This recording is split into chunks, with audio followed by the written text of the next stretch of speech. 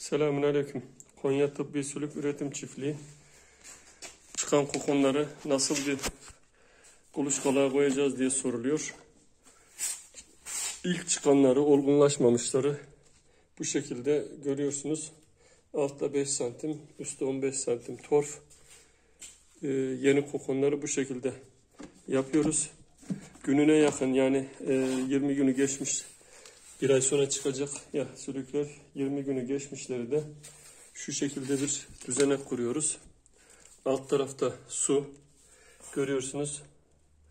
Birkaç tane yavru çıkmış. Sistem bu şekilde. Altta su saklama kabı. Üzerinde file. Filenin üzerine kokonları diziyoruz. Günü gelmiş sülükler, yavrular şöyle dikkatli baktığınız zaman görüyorsunuz çıkıyor. Bunları günlük toparlıyoruz içerisinden. Ay dolduktan sonra yani ayının ne zaman olduğunu bilemeyeceğiz ya. Kozaları topladıktan bir ay sonra kozaların tamamını açıyoruz. Yani yeni yapılmış kozalar bile gününü doldurmuş oluyor. Bir ay sonra açıyoruz. Sistem bu şekilde. Bu şekilde düzeneye koyuyoruz.